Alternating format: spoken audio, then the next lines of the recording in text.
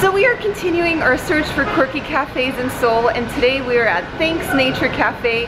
This is a sheep themed cafe in Hongdae so I think we're just going to enjoy drinks and maybe play with sheep afterwards.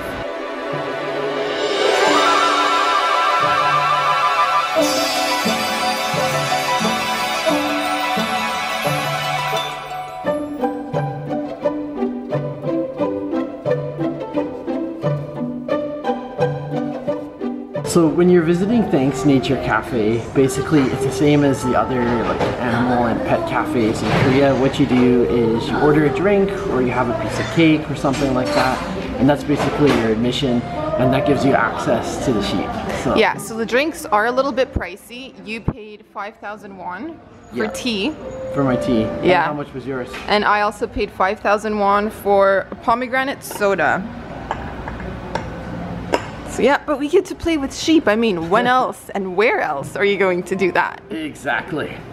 So we actually tried coming here during the summer months back in August, but one thing to keep in mind is that it gets super hot in Seoul, like almost 40 degrees with humidity, and that's not healthy for the sheep, so they actually take them away.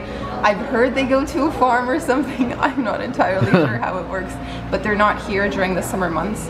So if you visit, make sure it's in like the fall winter spring. spring. yeah i don't even know if they would be around in winter when it's snowing so it's kind of a seasonal thing okay so we're going to meet lulu and lala those are the names of the sheep so let's go say hello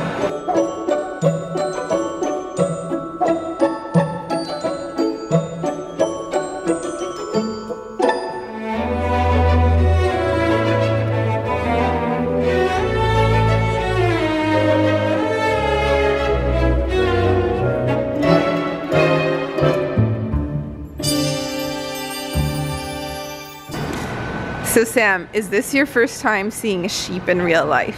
In the flesh? Come on. I've seen them before, but I've really? never like got to like pet them and be this close. Okay. But you grew up with sheep, right? Yes, I had four pet sheep. And that was in Cordoba? yeah. Cordoba? We used to chase them around and once I fell in their poop. It was so gross. We were chasing them around. You know what? And I was wearing a really nice dress and I like tripped and I was like completely smeared. It was so nasty. That is something that you definitely do. That's, That's very Audrey memory. Very Audrey thing to do. so that is a wrap from Seoul's Sheep Cafe. Yeah, it's a pretty cool time. I mean, where else do you get to hang out with sheep, interact with them, pet them?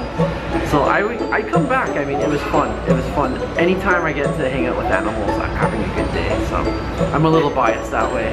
But if you do like animals, check it out for sure. All right, see you next time.